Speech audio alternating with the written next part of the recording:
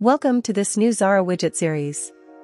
This video will teach you how to add a Google Form widget to your website, allowing visitors to contact you by filling out the form. From the Designs gallery, go to Modular Websites, then Web Blocks, and select the Get in Touch Contact category. Next, add one of the Google Forms blocks. To edit the Google Form block, click on it and select Edit Widget. Then, choose Edit in Browser. First, select the form you want to add on the Google Forms website. Then, click on the Send button and then on the Embed icon. Copy the embedded HTML code to your website. Finally, paste the embedded HTML code from the Google Forms website into Xara.